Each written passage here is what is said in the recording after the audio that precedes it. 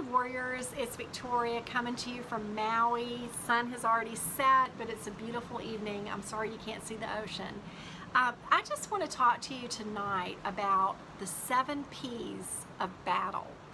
And you know, I really find a lot of inspiration from scripture. And so I'd like to start sharing some of the stories that have most inspired me out of the Bible and how it applies to our recovery. And so basically there was a story in the Old Testament where Jehoshaphat was king and three armies came against him. It was a vast army and he had no hope to defeat these people. And so he said, we are going to inquire of the Lord. And so he brought all the people together and they petitioned God. So that's the first P is petition. When you're in need like you are with CFS, it's really important to ask God for help. And so that's what Jehoshaphat did. They petitioned him and they said, We need your help. And they reminded him of his promises to Israel. And so they talked about the promises that had been given and were like, God, our eyes are on you. We look to you. So that's been a really important principle in my recovery is holding on to the promises of God. Like, by his stripes I am healed. Uh, I am the Lord, Jehovah Rapha, your healer. Blessed be the Lord who heals all your diseases. So those are promises that I would meditate on after petitioning God, I need your help. Here are your promises in scripture. And that's exactly what Jehoshaphat did. He reminded God of the promises that he had given Israel.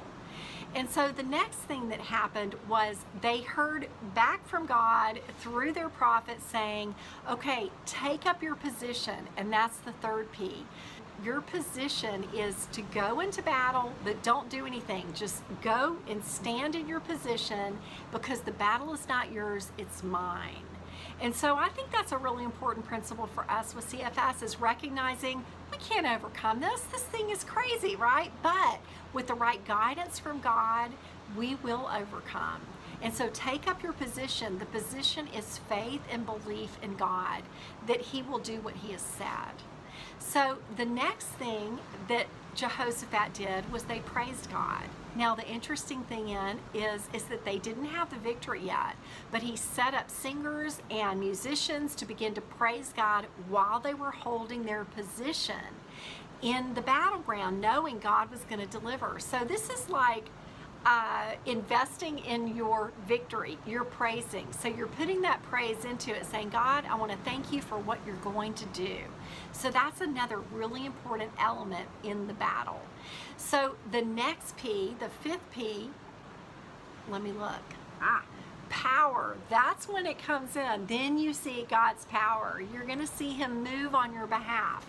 And whether that's bringing you a resource that you need, or giving you an insight that you have, or finding just the right supplement that makes a difference for you, I have had these treasures all along my recovery.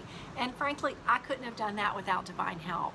And so that's the next thing is power. Number five, that P you need is God's power to bring this about for you. And then the next P is the sixth P, and that's plunder. So what, oh, what happened with Jehoshaphat is that the power part was that God came in and demolished all those armies. They actually began to fight against each other and they all defeated each other because there were three separate armies that turned on each other. And so uh, that was the power of God. And as Jehoshaphat and they came to see where the armies were, they were all laid waste. And there was all this plunder. And the scripture records that they had to spend three days gathering the plunder of the enemy. And so your plunder is vitality and health. And so as you stand in your position and you praise and you see the power of God, you are going to come into your plunder. Okay, so keep waiting on that plunder because it's coming. And then the seventh P of battle is praise. So after they plundered for three days, and they brought in all the spoils. Jehoshaphat was very sure to set up again minstrels, musicians, people praising God for all the victory that he brought. So that's an important principle. You praise him before the victory, absolutely critical, and you praise him after the victory. So when you found that you have new strength and new ability to do things, you're sure to give him thanksgiving for the ways that he's brought you through. And I know that, you know, this that's been really important to me is just to sing God, sing praises to God, and thank Him for all that He's already done in my journey and all that He's yet to do. So, warriors, I hope that those seven P's of battle will be helpful for you. If you're not a person of faith, I encourage you to check it out. Check out the Bible, check out what the Bible says, not what everybody else says about Christianity. Go to the original source and find out what it says and find your encouragement and your hope and help in it. So, Remember, warriors, life isn't over, it's starting again. And I speak life, health, and wholeness over you.